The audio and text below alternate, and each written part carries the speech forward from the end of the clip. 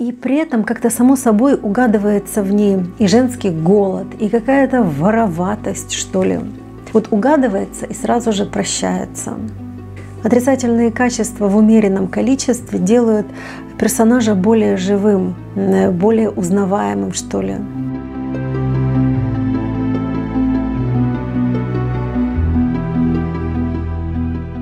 Здравствуйте, дорогие друзья! Я Анна Ханна.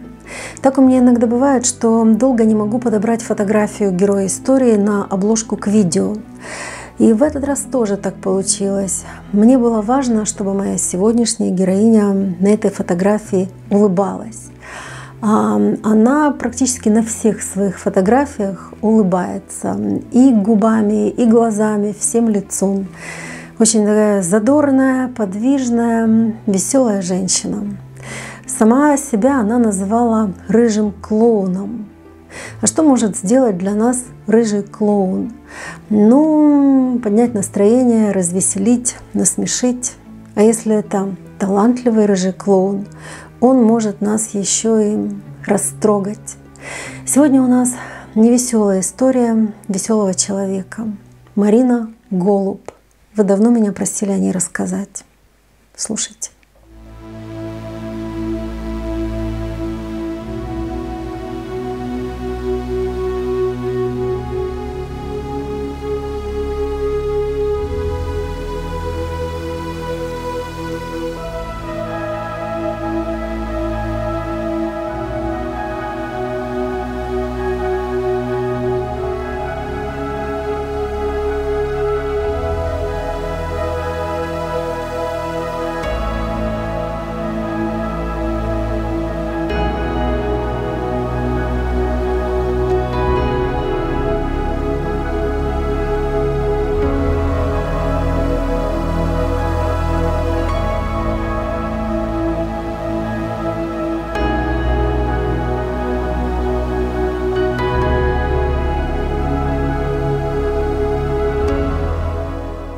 Марина родилась 8 декабря 1957 года в Москве.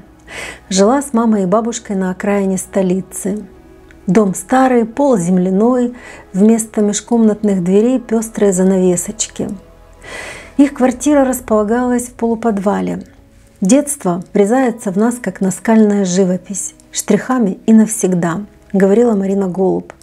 Первые штрихи моего детства – ноги прохожих на фоне неба. Маму Марины звали Людмила, по мужу Фролова. Но мужа возле Людмилы не было. Он ушел от нее, когда Марина была совсем маленькой. Людмила Фролова служила актрисой в театре юного зрителя. Исполняла в основном роли мальчиков, девочек и подростков. Своего биологического отца Марина так и не узнала. Ее удочерил второй муж мамы Григорий Голуб, военный разведчик и дипломат. Э, Марине было года четыре, когда она впервые его увидела. И она сразу ему сказала, «Дядь Гриша, давай буду тебя папой называть». Итак, Григорий Ефимович стал ей папой и остался им на всю жизнь. Он перевез новую семью к себе в квартиру на Комсомольском проспекте. Оттуда Марина пошла в школу. Училась она так себе, но с ней за партой сидела девочка Аня, отличница, которая давала ей списывать. В те годы, 60-е, 70-е, много чего не было. Но вот у Марины как раз много чего было. И жвачки, и колготки, и даже настоящие джинсы. Правда, маленькие. И она их носила, прикрывая сверху длинным свитером, чтобы не было видно замка, который не застегивается. Э, девочка Аня потом выросла, э, вышла замуж и взяла фамилию мужа Политковская. Так что Марина провела школьные годы бок о бок с известной правозащитницей. А Анна, выходит, провела их бок о бок с известной актрисой. Марина, еще будучи школьницей, часто бывала у мамы на работе. Из Тюза Людмила Голуб перешла в драмтеатр имени Гоголя – Марине очень нравилось в театре, но свое будущее она, как ни странно, связывала с профессиональным балетом. Она с детских лет серьезно занималась хореографией. И мама ее тоже очень хотела, чтобы дочь стала балериной. Да-да, Марина в детстве и юности была худая и прыгучая. И однажды Людмила отвела ее в училище при Большом театре показать педагогам. И этому ласково объяснили, что быть худой — этого мало, балет он для тонких и легких. А ваша девочка, уважаемая Людмила, имеет совершенно другое телосложение. И уже через несколько лет она будет крупная и большая. Умирающего лебедя не сыграет, так что нечего и мечтать. Ну а если не в балет, тогда куда? Пойду в актрисы, сказала Марина маме. В драму? В драму.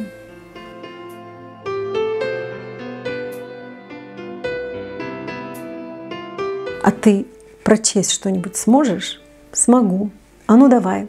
И Марина прочла, э, прочла маме очень трогательное стихотворение про то, как ощенилась собака, как она гладила и причесывала языком своих семерых щенков, а потом пришел хмурый хозяин и всех собрал в мешок.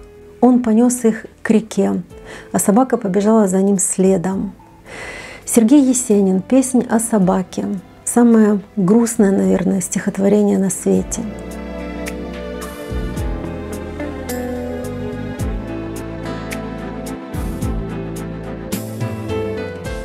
Марина Голуб поступила в школу-студию МХАТ. Она была очень успешной студенткой, а настоящий звездный час пришел к ней на четвертом курсе. Дипломный спектакль называется «Hello, Доли», а у нее там главная роль. И даже газета «Советская культура» напечатала об этом заметку «Аплодисменты на экзамене». Этот спектакль стали показывать на театральной сцене, и вся Москва пошла смотреть «Hello, Доли».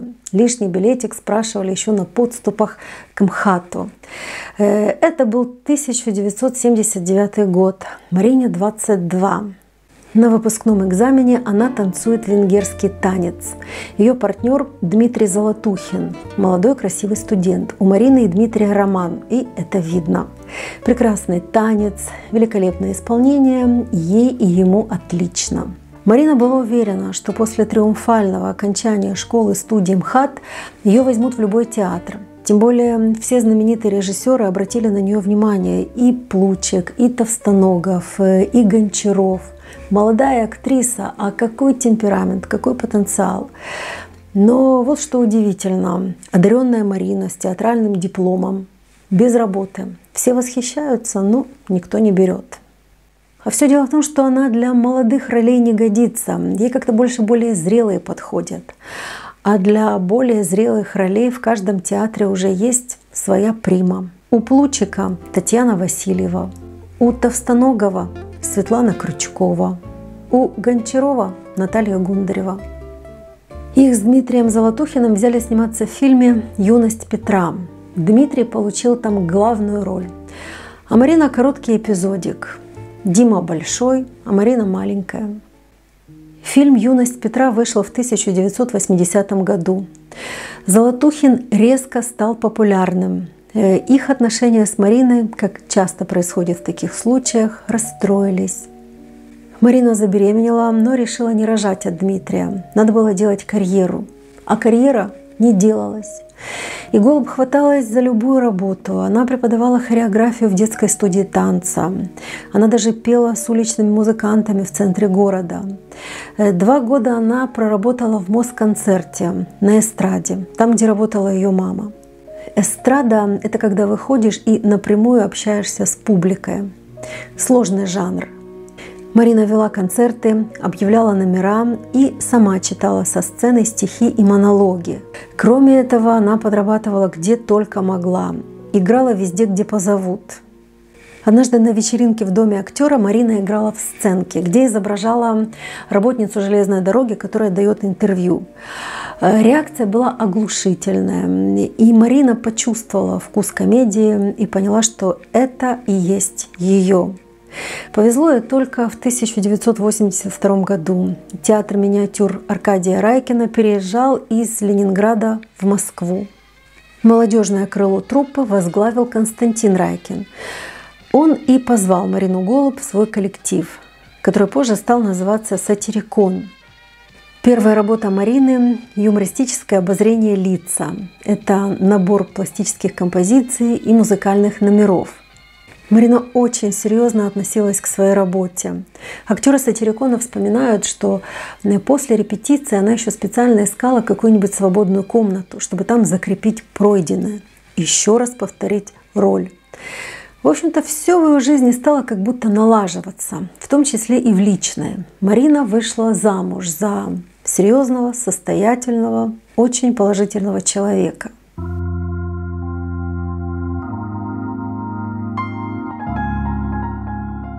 Зовут его Евгений Тройнин. Он не из творческой среды, человек технической профессии и при хорошей должности. Главный инженер, объясняла Марина. Потом, правда, оговаривалась. Ну, заместитель главного инженера – Свадьбу Марины и Евгения гуляли дома у Марины. Гуляли два дня. Один праздник для взрослых, другой для молодежи. Ее мама Людмила Сергеевна накрыла огромные столы и сшила дочери три наряда на каждый выход. Один для ЗАГСа и по два платья на каждый день свадьбы.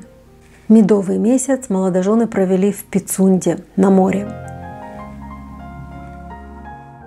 Оттуда Марина вернулась беременная и прозревшая. Она поняла, что ее муж, Евгений, э, совершенно ей не подходит. Они друг другу будто иностранцы. Он не театральный человек, абсолютно э, глухой к ее работе. И что она делает? Собирает чемодан и говорит, Жень, ухожу я от тебя. Ничего у нас с тобой не получится отважный довольно-таки шаг. Вот так вот уйти от э, мужа э, с чемоданом и токсикозом. Уйти практически в никуда.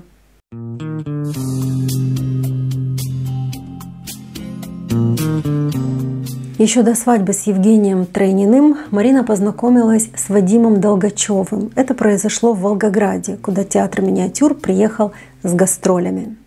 Вадим высокий, крупные черты лица, похож на Дебардье.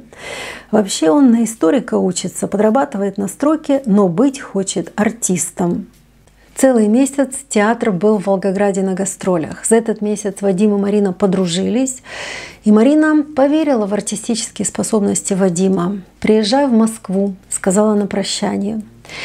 В голосе Марины, говорит Вадим, было что-то такое убедительное, что я набрал на работе отгулов и отправился в Москву. Позвонил ей прямо с вокзала. Она не удивилась моему звонку. «Приезжай в Амхат», — говорит. Марина тут же потащила молодого Депардье своим педагогам. «Посмотрите, он им понравился».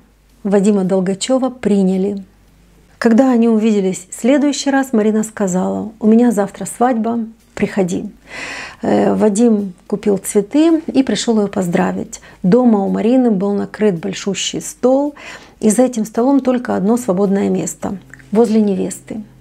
Э, слева от Марины сидит жених, а я справа. Гости кричат горько, жених с невестой целуются, потом она снова поворачивается ко мне, и мы о чем-то разговариваем. Эта картина вызывала непонимание у гостей. За кого же все-таки Марина выходит замуж? За того, что слева или за того, что справа? Потом она очень смешно рассказывала, почему она вышла замуж за Тройнина. Оказывается, ее папа уговорил. Мол, стерпится, слюбится, актрисе нужен человек солидный. Он, твоя мама, э, меня тоже сначала не любила, а потом полюбила. Ну, Марина послушалась папу, и, как оказалось, зря. Долгачев приходил проведывать Марину в роддом. Она ему показывала из окна маленькую дочку Настю. Когда Насте был всего месяц, Вадим попрощался с соседями по общежитию и пришел жить к Марине навсегда. В воскресенье, говорит Вадим, я шел с Настей гулять в парк. А в будни после лекции меня ждали маленький ребенок, гора пеленок и грязная посуда. Э, ночью они с Мариной по очереди вставали к Насте. Иногда бывало, что вообще не ложились, не спали, когда девочка болела. А утром, а утром надо идти на занятия в школу-студию МХАТ. Э, после декретного отпуска Марина вернулась э, в театр «Миниатюр», но Райкин давал ей исключительно маленькие и второстепенные роли – обиделся. Режиссерам обычно не нравятся актрисы, которые идут в декрет. Но и с маленькими ролями Марина часто ездила на гастроли, оставляя Настю с Вадимом. Я ее полюбил как свою. Она и не подозревала, что у нее есть родной отец. Называла меня папой, говорит о Насте Вадим. Три года они жили без регистрации брака, а потом поженились. Э, Вадим завершил учебу, и чтобы остаться жить в Москве, ему нужна была прописка. Купили Вадику синий финский костюм, пошли в ЗАГС и расписались. Марину устраивало то, что Вадим заботливый и добрый, но ей хотелось бы, чтобы он к тому же был и знаменитым, и чтобы хорошо зарабатывал, а вот с этим как раз не получалось. Э, Вадиму подходило жить в тени супруги. К тому же он стал прикладываться к стакану. «Не пей», — говорила ему голубь, — «а ты не ешь», — отвечал он располневшей жене. Да, Марина к тому времени сильно набрала вес, стала большой.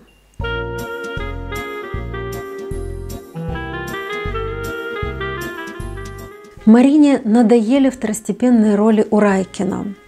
Однажды на спектакль с ее участием пришел директор еврейского театра «Шалом», режиссер Александр Левинбук. Ему и его жене очень понравилась игра Марины. Фамилия знакомая, Голуб. Э, в тот же вечер он позвонил Людмиле и спросил, «Людочка, а молодая актриса с фамилией Голуб имеет к тебе какое-то отношение. Так Марина Голуб стала примой театра «Шалом». Сама она еврейкой не была, но учила тексты на идиш. Ей очень пригодился эстрадный опыт. Во время игры она блестяще взаимодействовала с залом, импровизировала, оживляла действия. У Марины было редкое для женщины качество. Она не задумывалась о том, как она выглядит – на сцене она много танцевала, имея при этом достаточно крупную фигуру. Вот бывает, что люди худые, а танцуют напряженно, а она не худая, танцевала очень раскрепощенно и при этом легко и с огоньком. В 91 году театр «Шалом» ездил в Англию на гастроли. Они там дали 17 спектаклей при полных аншлагах. И 17 раз Марина своими танцами срывала овации. Потом были полугодовые гастроли в Канаду. Но местные профсоюзы не разрешили показывать шоу. Мол, этим должны заниматься канадские артисты. Планы были сорваны. В ту поездку Марина Голуб взяла с собой Вадима и Настю. Пришлось их срочно возвращать назад. А сама она задержалась, чтобы хоть что-нибудь заработать. Вот как она рассказывает. Я вела концерты в ресторане, надевала красивое платье и в полном гриме шла через весь город. Денег на такси не было. Марина все еще любила своего Вадима, но она прекрасно понимала, что он ей не подходит. Не по тем причинам, по которым не подходил ей первый муж. Вот есть э, созидатели, есть разрушители.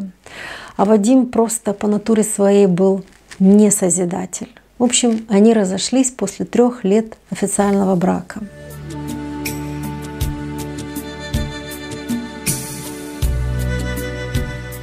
1995 году Марине Голуб 38 лет, и она центральная актриса еврейского театра «Шалом». В театр приходит молодой паренек Анатолий Вайсман, ему 23. Вот он, Интересно, что на официальном сайте Анатолия нет ни слова о его работе в театре «Шалом». Так вот, э, у него сияющая юность, а у нее опыт и связи. Марина в те годы уже была достаточно популярна. Во-первых, телевидение, во-вторых, роли в кино маленькие, но яркие. Короткая эмоция в эпизоде – это ее конек в кино. Ну и, конечно же, театр. Зрители специально шли на Марину Голуб. Она приносила со спектаклей охапки цветов. А тут, надо же, Толик. Сидели, разговаривали, и я чувствовала, как все вокруг меняется, становится мягким, сияющим. Происходили какие-то химические реакции, обмен душами. Взрослая актриса берет творческое шефство над молодым актером. Фамилия Толика Вайсман дословно переводится как «белый человек». Голуб придумывает для него актерский псевдоним «Белый», Анатолий Белый. Влюбленная Марина решает, что им необходимо закрепить отношения государственной печатью. Э, Толик переезжает в ее квартиру.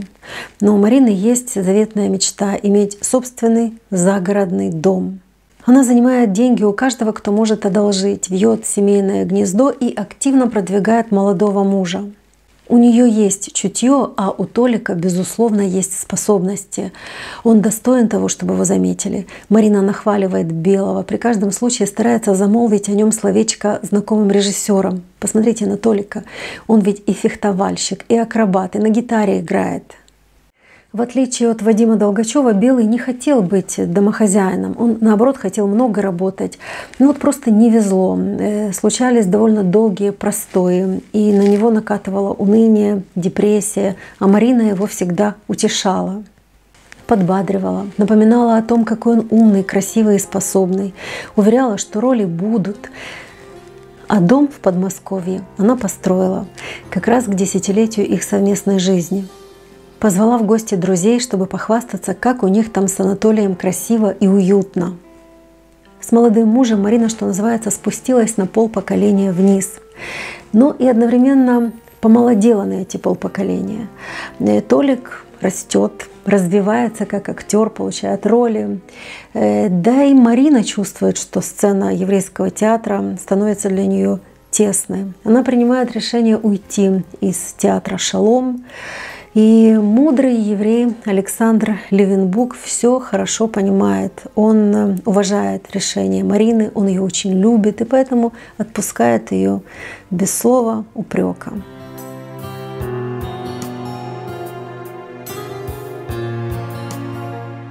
Марину звали в основном на роли, где она играла таких громких женщин э, с хрипотцой и с хитрецой, таких хамовитых, но душевных. И не выдержу, если не скажу, что эти ее персонажи мне очень нравились. Вот эпизод в фильме «Свадьба», где она играет директора столовой. Какая она там прекрасная. Вот эм, что такое роль? Роль — это слова на бумаге. А как сделать так, чтобы они стали объемными? Вот, допустим, написано «Входит директор столовой». А как входит? А какой директор? Сияющая женщина в нарядном платье с прической, с укладкой, и в руках у нее фаршированный осетр. Торжественная, радушная хозяйка столовой. Вот мне почему-то именно этот ее образ особенно близок. И при этом как-то само собой угадывается в ней и женский голод, и какая-то вороватость, что ли. Вот угадывается и сразу же прощается. Отрицательные качества в умеренном количестве делают персонажа более живым, э, более узнаваемым, что ли. Это не просто комедия ради комедии, а настоящий дар вызвать симпатию к тому, кого играешь в коротеньком эпизоде. Актеров, которые играют трагические роли, ценят в основном профессионалы, критики, любители искусства. Э, народ же больше любит комиков, обаятельных и веселых. Вот посмотришь на такую Марину и подумаешь, хорошо бы с ней, например, оказаться э, в компании за общим столом, или в поезде, в дороге куда-нибудь далеко ехать, или, не дай бог, попадешь в больницу, так вот было бы здорово, чтобы такая, как она, на соседней койке оказалась. Марина владела самым сложным, что есть в актерском творчестве – клоунадой. Клоунада – это не обязательно красный нос и пиджак по колено. Игра Марины строилась не только на шутовстве, но и на знании жизни, на наблюдательности. Помните, как она объявляла музыкальный опус в Ширли-Мырли? Зрители видят ее только несколько секунд, и этих секунд достаточно, чтобы стало понятно, что за персона объявляет шниперсона – Марина умела и делала все. Днем она вела телепередачи, снималась в рекламе, рекламировала и мятные таблетки, и даже средства для чистки сантехники. А вечером публика в театральном зале ожидала ее выхода. Марину Голуб приняли в труппу МХТ имени Чехова.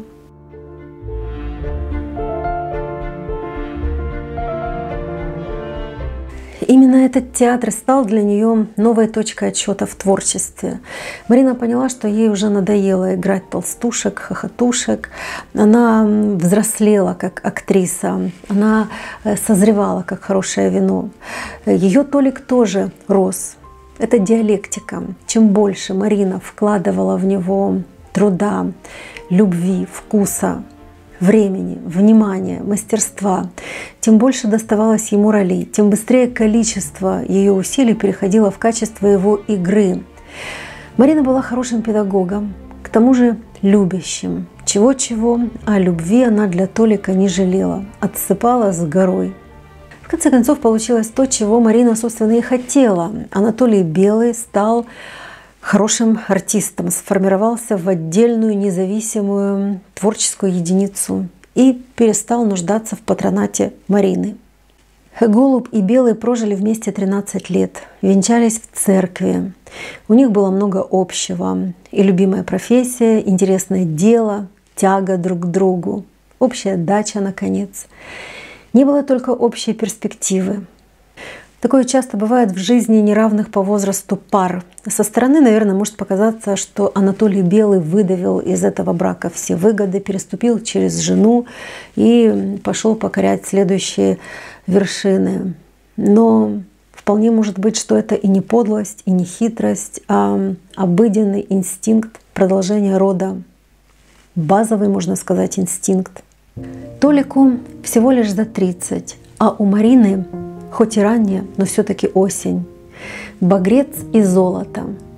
А ему необходима цветущая весна. Он говорил, что тоже любит Марину. Раньше, ожидая ее с гастролей, он писал в ежедневнике.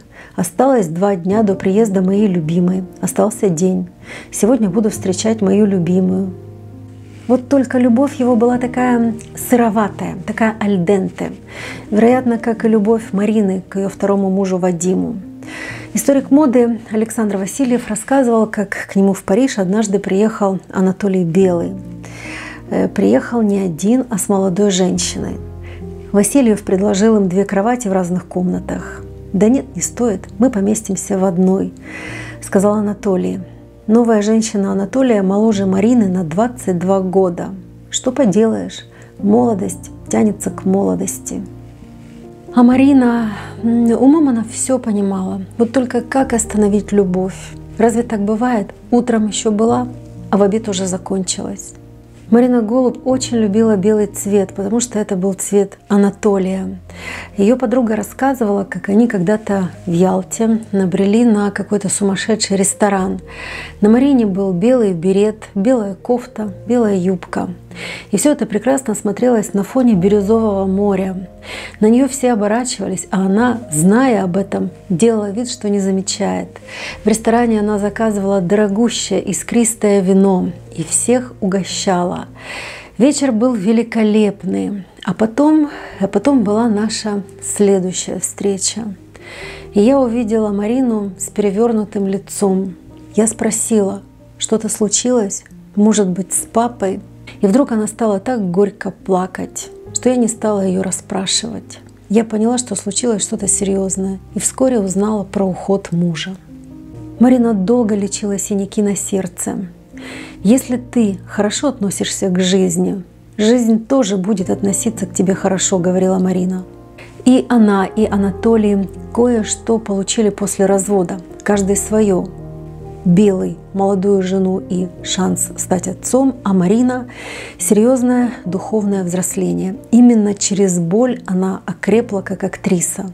Э, ведь Голуб-то сыграла огромное множество всевозможных характеров, от деревенских почтальонш до аристократок. И все у нее получалось. Но у нее была роль мечта, о которой она грезила всю свою жизнь.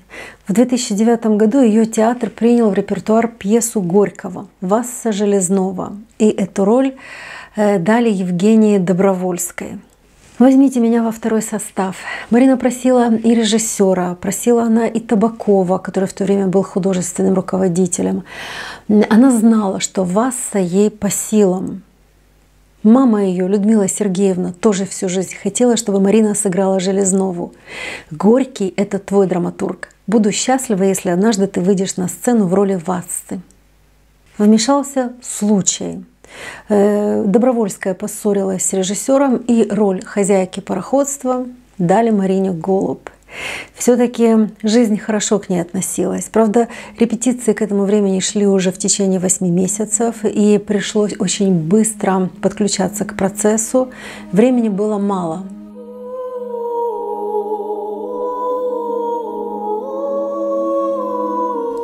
Но спектакль все же состоялся. Сама Голуб считает, что Васса – это вершина ее актерского мастерства. Этот спектакль есть на Ютубе, продолжительность два часа. Я, признаюсь, посмотрела где-то две трети. Театральная постановка, конечно, лучше смотрится из зала, чем с экрана. Безусловно, Голуб много труда и души вложила в свою Вассу. Мне кажется, что если бы сам Горький ее увидел, он был бы очень доволен. Эм, я же избалована старым фильмом э, Глеба Панфилова, где Вассу играет Чурикова. Лучше ли играет, хуже ли играет. Э, сравнить э, трудно, невозможно. Это все равно, что, знаете, когда хорошую песню исполняют два горячо любимых тобою вокалиста. Причем совершенно по-разному это делают, каждый в своей манере. Может, потому что Чурикова была раньше, а может, потому что кино воспринимается с экрана легче, чем спектакль. Или почему-то еще. Но все же я продолжаю связывать этот образ с негромкой, сдержанной Чуриковой.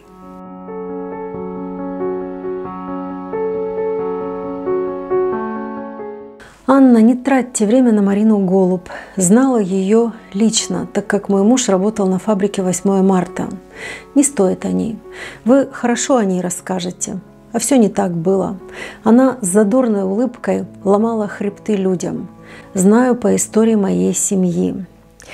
Э, этот комментарий появился у меня в сообществе два с половиной месяца назад, в декабре, когда я проводила голосование, э, о ком сделать следующий подкаст. Э, были Сбарская, Галкин и Голуб. Я очень внимательно читаю то, что мне пишут зрители, и, конечно же, такой комментарий не мог меня не зацепить. Вскоре ответила другая зрительница, единомышленница. Спасибо, такое же мнение. Напрасный труд искать благородство, где его и близко не стояло. И снова первое. Для тех, кто знал ее, возможно, она была противоречивой. И только для тех, кто ее совсем не знал, она могла быть хорошей. Она не была хорошей женщиной, она была продажной. Очень она деньги любила, больше, чем людей. Я просила отозваться тех, кто знал Марину Голуб лично. Мне написали две другие зрительницы. Одна из них актриса, она снималась э, с Мариной на киностудии имени Горького проекте «Русские водевили», как раз в то время, когда Марина начинала встречаться с Анатолием. Она была ему не только женой, но и мамой. Взяла весла и гребла, гребла, помогала, спасала, поддерживала, переживала, любила, заботилась, очень переживала из-за разницы в возрасте, худела, не влезала от массажистов и косметологов, покупала себе дорогие наряды, старалась молодиться. Она не была спокойна и счастлива, тяжело работала над собой. Молодой красивый муж стал ее проектом. Марина не любила себя. Она была женщиной жертвой. Ну, как видите, ничего плохого. Второе письмо я получила от э, детской писательницы, которая вместе с Мариной работала над передачей «Праздник каждый день». Это такой э, аналог «Спокойной ночи, малыши», ежевечерняя передача для детей. Женщины подружились и проводили вместе много времени.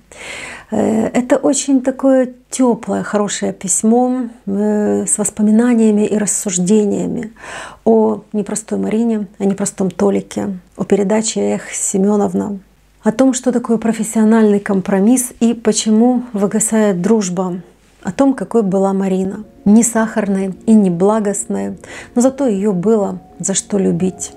Тоже, как видите, ничего плохого. Ну и, конечно, комментарий от Ирины Ткачевой, которая разбирает людей по дате их рождения. Вот что она пишет. «Жила Марина чувствами, хотела любить сама и чтобы любили ее.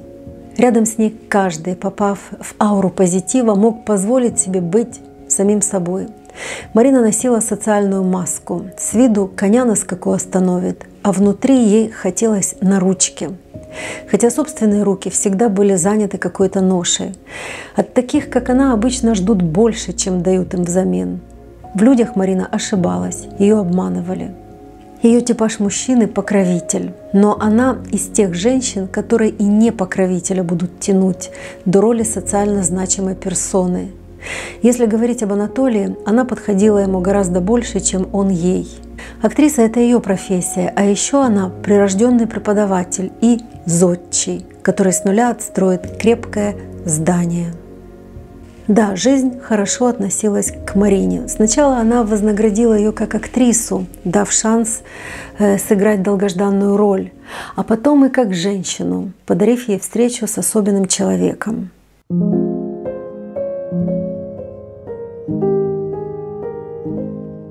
Миллионер, путешественник, мебельный магнат Михаил Кравченко, президент холдинга «Фабрика 8 марта», Красивый, богатый мужчина, которого не нужно ни тянуть, ни продвигать, ни вывозить.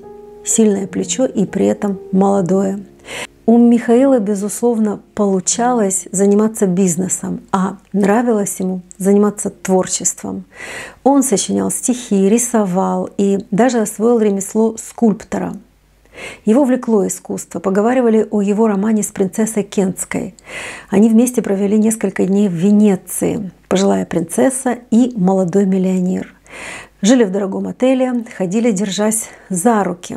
Хотя сам Михаил утверждает, что она была ему интересна лишь как автор книг по истории искусства Европы, а он ей как специалист по интерьерам. А еще Михаила тянуло к актерству. Финансовые возможности позволяли многое. Хочешь быть актером, будь им. И Михаил решил создать свой собственный театр. Самый настоящий, чтобы сыграть в нем самый настоящий спектакль. К 15-летию холдинга было решено поставить пьесу Грибоедова «Горе от ума». Как говорится, у богатых свои причуды. Впрочем, не такая уж и плохая причуда. В спектакле приняли участие работники всех фабрик, входящих в холдинг. А сделать постановку пригласили Марину Голуб. В роли Чацкого Михаил Кравченко. Вот так завязался их роман. В Михаиле Марина видела свое отражение. Этот мужчина, говорила она, мыслит, как я. Э, он на 9 лет моложе ее, но это зрелый человек э, со своей богатой биографией, с огромным успехом, с широчайшей палитрой увлечений и со своим большим личным горем. Кравченко женился молодым, очень любил жену и дочь. В 1996 году случилась трагедия. Они ехали на машине, за рулем был Михаил. Навстречу вылетел автомобиль. Кравченко не успел увернуться от удара, похоронил обеих и корил себя за это беспощадно. Перестал отмечать свой день рождения, полюбил экстремальные путешествия, ездил чуть ли не к людоедам в Африку, взбирался на горы, исчертил вдоль и поперек Австралию, как будто искал способ погибнуть. Можно ли забыть то, что случилось в прошлом? Нет, но можно продолжать двигаться вперед. День рождения Михаилу устроила Марина. Она сняла о нем документальный фильм, который назвала «Человек-диван», а потом сюрпризом эм, организовала для него пышный праздник, такое громкое торжество. Э, нужен ли был этот праздник э, Михаилу? Трудно сказать. Просто Марина очень хотела, чтобы он вновь почувствовал себя счастливым. Сама она, безусловно, была счастлива. Марина летала над землей, похудевшая, постройневшая, загоревшая. Э, фото Михаила стояло у нее на заставке компьютера. Но была ли она единственной женщиной у него в то время? Михаил не скрывал, что у него есть э, другая, с которой он состоит в так называемом гражданском браке. Я, кстати, вот не понимаю, почему э, браки, где люди живут без регистрации, в народе называют гражданским. И похоже, эти отношения не прерывались, несмотря на роман с Мариной. Спектакль «Горе от ума» был показан в июне 2011 года на День мебельщика. Был ли у Кравченко актерский талант, судите сами. Ссылка на видео будет в описании, но Марина талант в нем увидела – И Кравченко продолжал играть. Следующая актерская работа в документальном фильме «Иван Грозный. Портрет без ретуши», где Кравченко снова взял главную роль. Марина была с ним на съемках, буквально дежурила. Э, говорят, что Михаил обещал ей подарить площадку под ее собственный театр, Народный театр Марины Голуб. Э, премьера Ивана Грозного состоялась на телевидении в начале мая 2012 года, а спустя еще две недели Михаил Кравченко был расстрелян.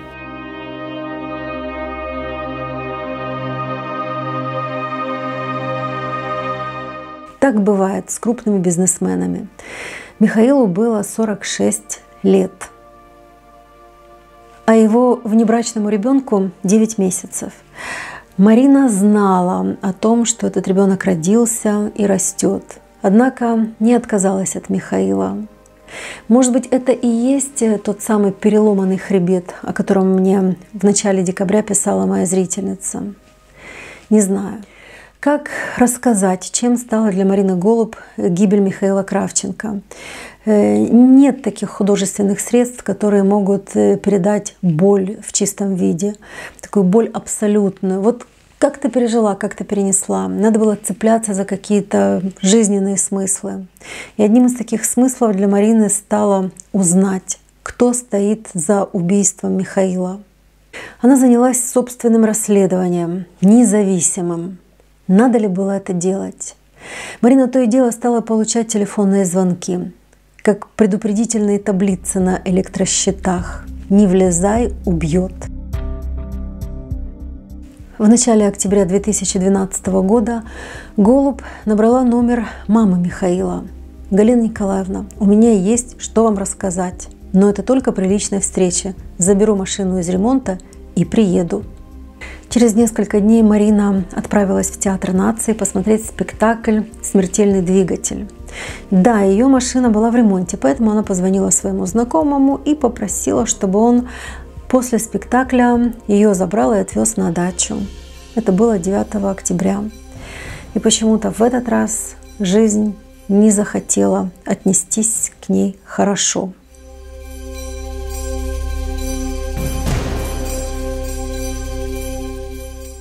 Желтый сигнал светофора предупреждающий. Желтый цвет надо уважать, останавливаться – Водитель красного Кадиллака не остановился.